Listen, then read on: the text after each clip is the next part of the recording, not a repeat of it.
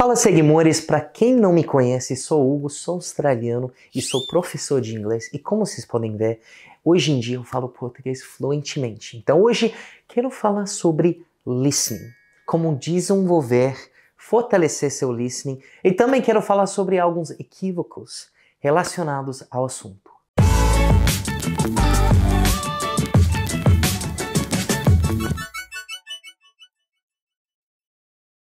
Como desenvolver seu listening? A primeira coisa que temos que entender, listening, seu ouvido, é como se fosse um músculo.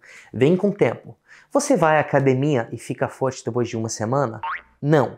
Então vai ser a mesma coisa com listening. Você não vai para um jantar com gringo e você sai na mesma noite, ah, eu entendi tudo. Não é assim, é uma coisa frustrante que demora. E eu também gosto de usar a analogia da parede, de demolir uma parede, mas vamos falar mais sobre depois. Muitas pessoas aprendendo inglês e outras línguas sempre falam na, no primeiro momento, ah, mas eles falam tão rápido, nossa, você fala tão rápido. Tira isso da sua cabeça agora. A pessoa não está falando rápido, é que seu listening ainda não está desenvolvido. Então tudo para você vai parecer rapidão, mas sinceramente a pessoa está só falando normalmente. Como falei, listening é um músculo e realmente vem com o tempo. Então a primeira vez que for ouvir um gringo falando inglês, ou se você se colocar numa posição, numa festa, numa roda de, de amigos, pessoas desconhecidas até, tudo vai parecer muito rápido. Mas por favor, não se estressa. Você pode ficar tranquilo sabendo que com o tempo você vai desenvolver. Não vai ser naquela noite e vai ser bem capaz de não acontecer naquela semana, mas meses depois seu listening vai pegar o jeito. Je m'appelle Claude. Je découpe plow. Então vamos lá. O que, que você deveria fazer para começar? No nível iniciante, você vai só saber algumas palavrinhas quando você está aprendendo. Então, o que, que você tem que fazer? Ao assistir uma série na Netflix, ao escutar uma música, tenta pegar pelo menos uma palavra na frase. Se você pegar uma palavrinha, você já está mandando bem, porque isso vai conforme seu conhecimento. Tenta pegar uma palavrinha. Depois de uns meses, vai ter algumas semanas de aprendizagem, de aula com o professor. Tenta pegar duas ou três palavras. Se pegar, você está indo muito bem. Eu te garanto, você não vai pegar tudo de primeira somente com alguns meses de aula. Isso vem com o tempo. Também depende da, do número de aulas, da quantidade, muitos outros fatores. Então, o que, que você tem que fazer? Escutar a frase várias vezes. Quando você está assistindo um filme, é fácil, né? Volta, assiste de novo, aí tenta pegar aquela mesma palavrinha que você aprendeu na aula. Aí você vai se parabenizar, falar, ah, eu entendi aquilo, aprendi isso na semana passada, na aula hoje, você já está indo muito bem. Aí o que, que você faz de agora em diante? Usando aquela palavra que você reconheceu, que você escutou, tenta conectar as palavras antes e depois.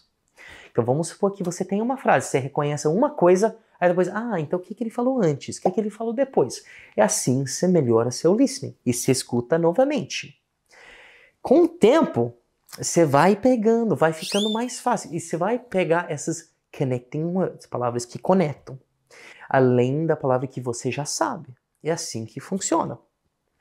Então, no meu caso, eu sou intermediário no espanhol. O que, que acontece? Quando meus amigos colombianos falam rápido, quer dizer na velocidade natural deles, eu pego algumas coisinhas. Mas eu mesmo, depois de passar dias com eles, horas escutando, escutando, tentando prestar atenção, pegando as palavras que eu já reconheço e conectando as outras, meu listening melhora.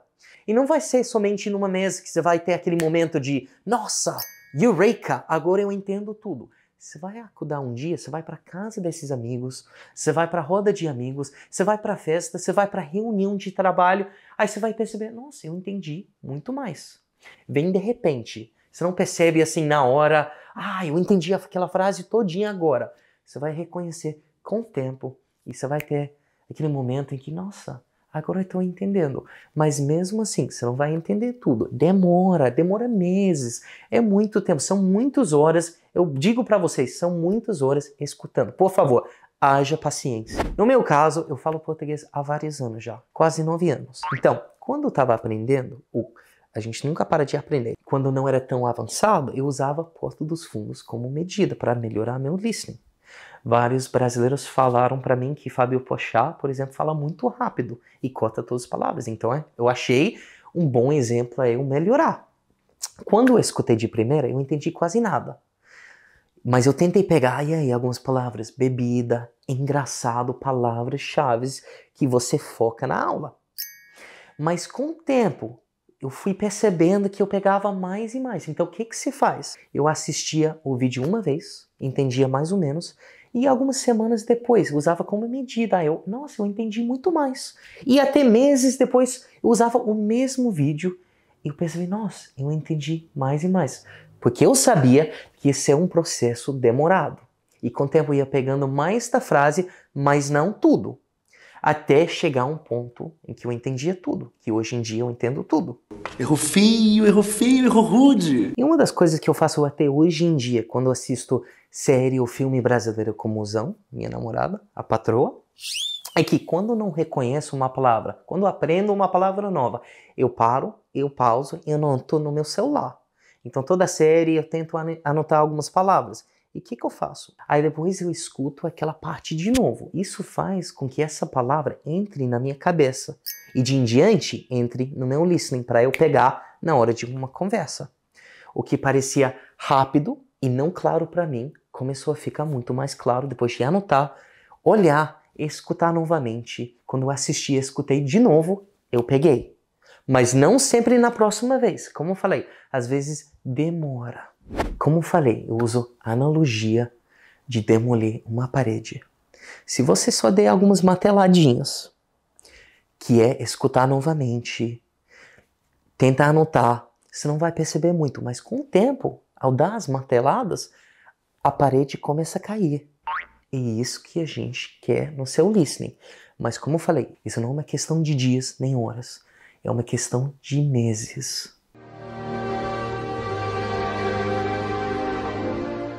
E mais uma dica: tente focar nas contrações. Por exemplo, em inglês, você vai aprender I want to, eu quero. Só que na fala eu não falo assim, eu falo I wanna. Parece rápido, mas se você presta muita atenção, você vai pegar, você vai começar a pegar as contrações. Em vez de falar did you, na fala eu falo did you. Ou você no passado. Did you go? Você foi?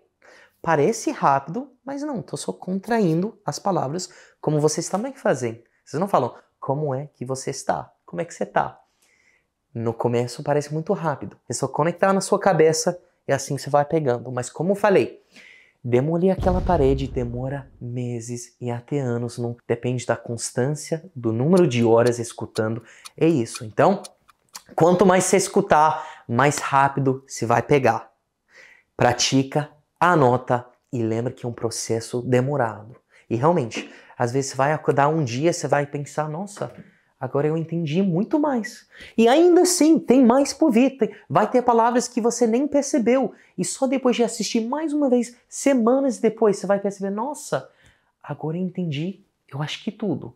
Mas isso demora meses. Então, para resumir, haja paciência, escute, não se estressa, ninguém está falando rapidão. Você só precisa treinar seu listening, que é como se fosse um músculo. Então, dê aquelas marteladas e haja paciência. Boa sorte and happy listening. E seguimores, se vocês quiserem escutar e saber mais como falar inglês tão bem quanto eu falo português, me sigam no Insta e também deem um like, se inscrevam no canal e compartilhem com os amigos. E deixem um comentário também. O que vocês acharam desse vídeo? Muito obrigado.